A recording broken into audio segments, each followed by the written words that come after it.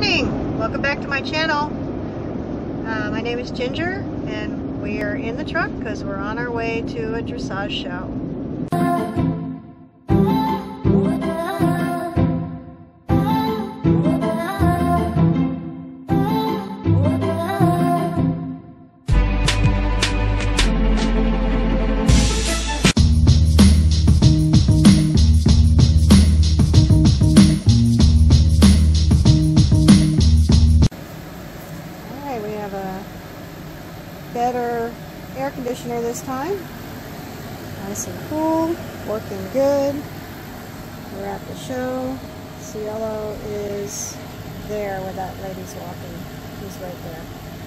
So I have a nice view of them. Ooh, my hair is looking pretty pretty fantastic. anyway, so we're here. Um, got the AC running, got my fridge, uh, doing good. Fridge freezer's doing good. Um, just got to set up my, my bed and um, let Cielo relax for a little bit and then I'll take him out later and ride when it cools down a little bit. It's going to be over 100 um, all weekend, but we're riding early um, in the day. I think my latest ride is like 123. So um, pretty civil civilized times. We don't have to wait until like 3, 4 in the afternoon this time, which is cool. So um, hopefully I don't have my finger over the um, mic. New phone. So anyway, uh, I'm going to get the rest of my stuff set up, get some lunch, and then go check on him in a little bit. Okay, today's the first day of the show, and I've got some of my gear. Uh, I need to bathe him this morning. Uh, I didn't handle the heat well last night, so I didn't do like any vlogging at all um, because got up to 99, but there must be more humidity down here, and I started uh, felt like I was going to pass out. it was cramping up, um, so I didn't do much. I just hosed him off, and then ate something, went to bed. So this morning, which is a good call, I didn't bathe him last night because he laid in a pile of poo last night, so he's got a nice big stain on his side. So I'm um, going to bring my gear down. It's comfortable, but not like as warm as I normally would bathe in. But I got to bathe him this morning and get him ready, and then um, I ride at 10:45. All right, bath time is done. Um, he actually is white again, so that's impressive. I'm going to walk him around a little bit. He's shivering because it's a bit chilly here in the shade uh, so that he can dry.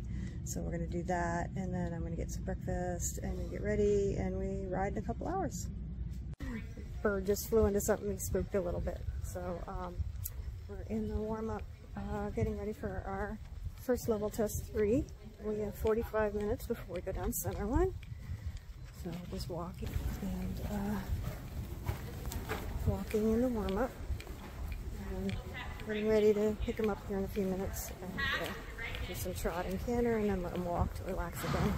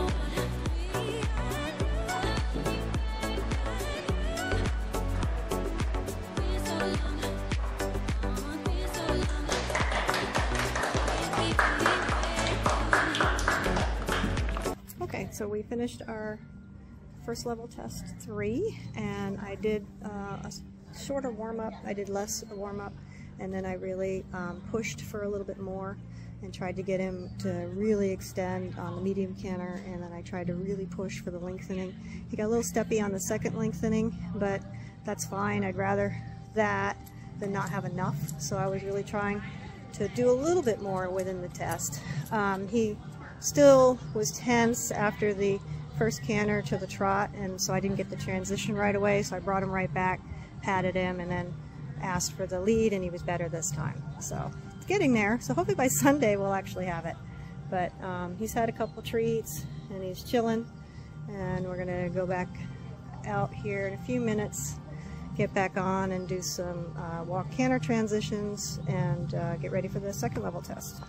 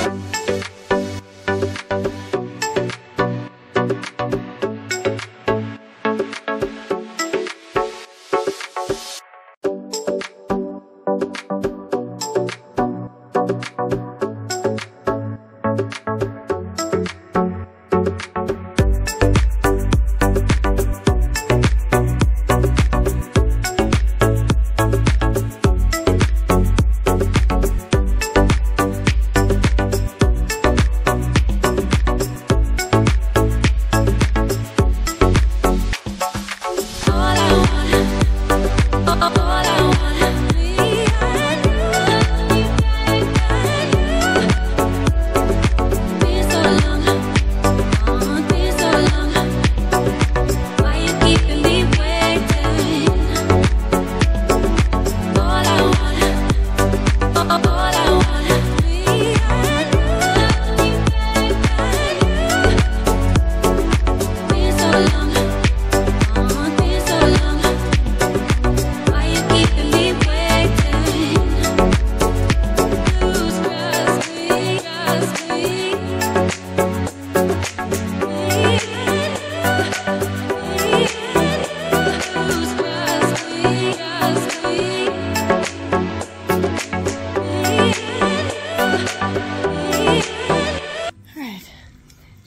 my second level test, I had to throw him in the stall and get my stuff off because I'm overheating. So I started getting cramps before in my sides before I went into the ring. I was trying to stay in the shade, trying to drink my zeros, and uh, did good through uh, most of the test. Was quite happy with the way I rode it. I was really pushing the, for the mediums and pushing uh, for the, you know, to get him to do more and to collect, to actually show some collection. And then I get up to the I try, uh, anyway, I forgot to trot up and do halt and rein back. I never forget that movement. And I started to go into my walk pirouettes and realized, I think I forgot something. So, yep, two points there for me. Ah, boo-booed. And then, of course, it was fine. And then got through my uh, serpentine and got to the end of the canter. And then for some reason I thought, oh, I'm supposed to trot here. No, it's a simple change. Rider error number two. and I, I apologize to the judge. I'm like, I'm getting overheated. Um, and my brain is just uh, not with me at the moment. So anyway, I'm going to come in here, change clothes, and then go get him hosed off because it's hot out already. Anyway, that was today, and uh, you'll see the videos. And then check on him. He's got his fan down there. He was standing in front of his fan taking a nap earlier. And, and just do some stretching and um, see how he feels. Maybe do some groundwork. Uh, he was a bit tight and a bit tense, but I expected that uh, day one. He's been doing better uh, each ride, so other than the, the two rider errors that I made today, duh. I actually would have come up 10% in my score had I not made those errors. Um, so that would have been fantastic. But anyway, off uh, to get ready for tomorrow. Tomorrow I'm riding uh, midday, so like 12.38 and 1.30 or something. So uh, that's going to be interesting. She said the jackets were probably going to be waived, um, and I asked if we could ride in our um, cool vest, and she said yes, over the shirt. So um, I'm probably going to have to ride in the cool vest tomorrow because I was definitely having a problem with the heat today. I just did some uh, groundwork and uh, he was really, really tight and really stressed. So um, I did some groundwork, loosened him up. His right side was really tight. Um, I looked at my video from yesterday, of the first level test. I didn't bother to look at the second level because I made two errors. Um, and he was uh, very against the hand, which I felt in the warm-up, but I was trying to get him to loosen, and then when I felt like he was he was freer, he was actually sticking his nose out, so he wasn't round enough. Um, so I need to uh, do a little bit better to get him really on the contact um, and rounder before I ride today. So make a few adjustments. Um, you know, he's, the, you know, he's had three shows in three years. So it's not going to be magic overnight. So anyway, I'm going to probably do some more groundwork with him before I get on, uh, before we start our ridden warm-up, um, to really make sure that he's uh, loose uh, through his body, or looser through his body, because now he's putting his head down and he's more relaxed. So that's what I need him to be. I need him to be in a more relaxed state uh, before I get on.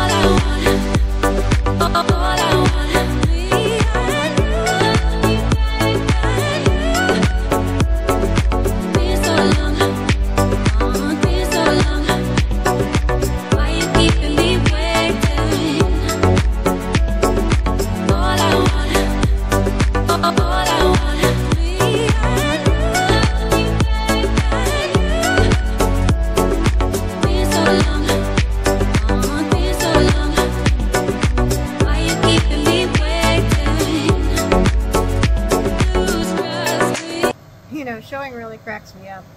So I just finished my second uh, level test, my second ride, and I went and picked up the score sheets, and they're really kind of funny.